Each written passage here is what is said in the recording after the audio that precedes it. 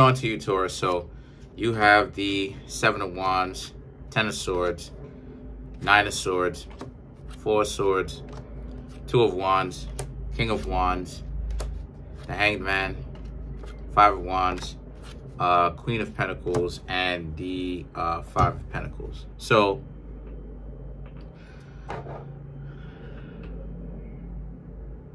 hmm. some of you Taurus may feel like the hard work that a lot of you may have been putting in, not just on the job, but more so, yes, the job too, but more so emotionally is not being rewarded. Um, a lot of you Taurus may think right now that you're in a position where you did all of this stuff for nothing, right? You changed who you were internally for the better, only for people to try to take advantage of you now. That's not really true. That's not true. And the reason why it is I'm saying that it's not true is because people's egos is the problem. It's the reason it's part of the reason why it is that people play games. So when you learn how to manage said ego, this is that's one of the things that make you the most powerful people on earth because most people are completely unaware that their ego is even controlling them. They don't even know what an ego is if they've never some like you understand some people have never even heard of the name ego. They they just think they're being who they are. When they lack mindfulness, they don't even realize how impulsive they actually are.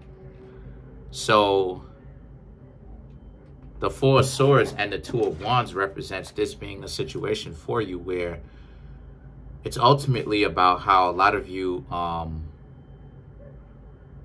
Taurus really perceive it, right?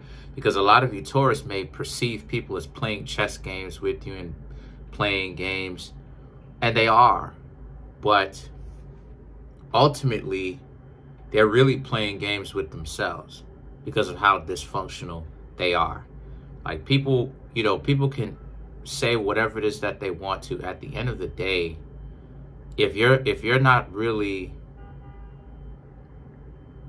real with somebody, who can you be real with? So the four swords represents that, you know, you Taurus need to understand this. Other people don't need to understand it. You need to understand it. If a person decides that they're going to be dysfunctional, if they decide that they are going to be um, ego driven, then allow them to do that. Because they're ultimately not really going to get to what it is that they want. The Four of Swords, the Two of Wands, the King of Wands. Let people be ruled by their own ego that want to be ruled by it. You know, the best thing that you can do for people is to is to tell them to be more mindful of other individuals, right? They're not the only people living on the earth. And if they don't want to understand that, if they don't if they want to continue to act like they don't have any kind of consideration or compassion then they're lost. So the hangman now in the five wands now represents and this could even represent some of the people that you've been dating.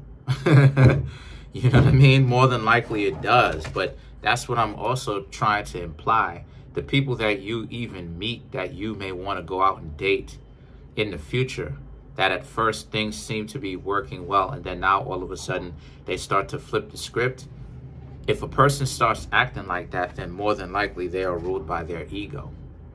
But the hanged man and the five of wands represents which means that there's no use in really staying with these people in the first place because maybe you did meet somebody recently but you shouldn't still be with them especially if they start acting wild.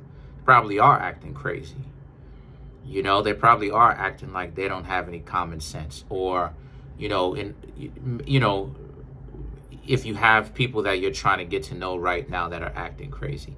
But regardless of to who or what, maybe it's the future, right?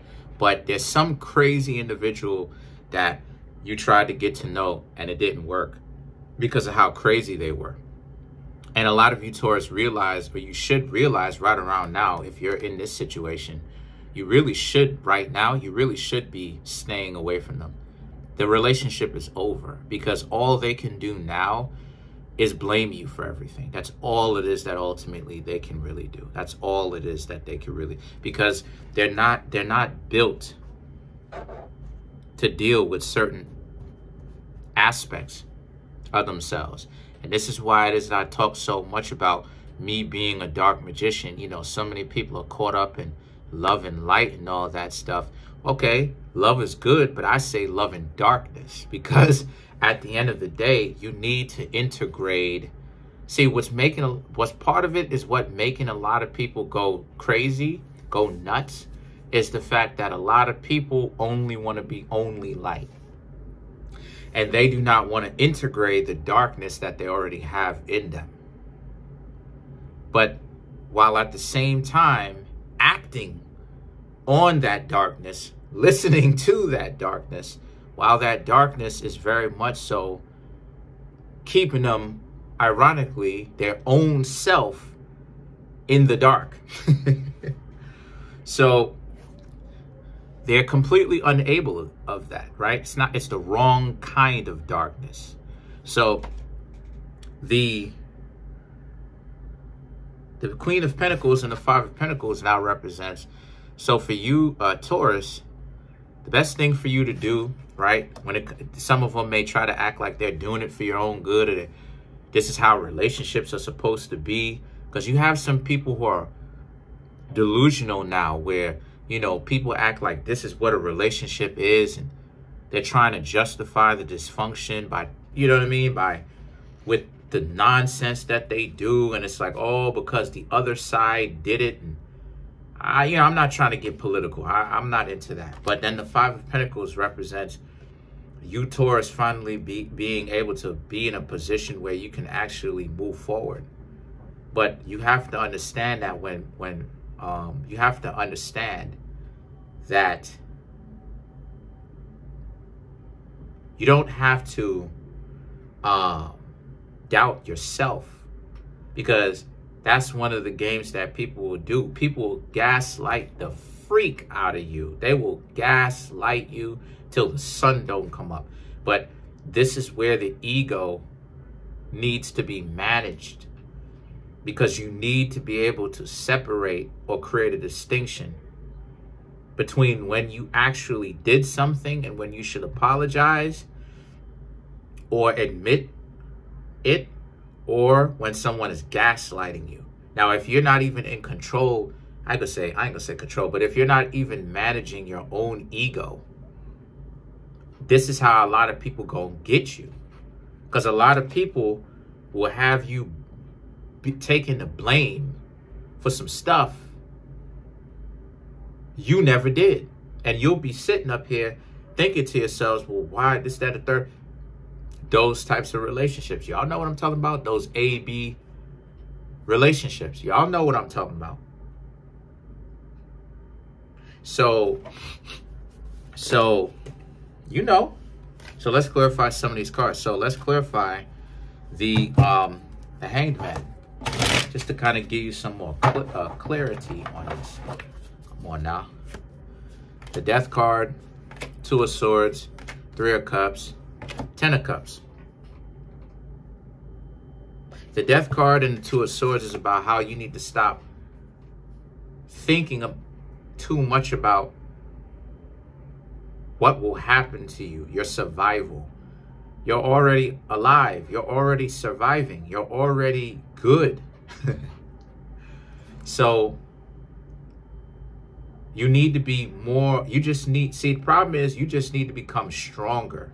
You need to understand what's happening so that you don't get caught in a situation where you become spiteful. The Three of Cups and the, and the Ten of Cups now represents now go out there and have fun and get to know people. You're prepared. You're prepared from your own experiences. You're prepared from your own instincts. You're prepared from being here on this channel. The wisdom that I gave to y'all, the knowledge. So go have fun. Go talk to people. It's the warmer weather.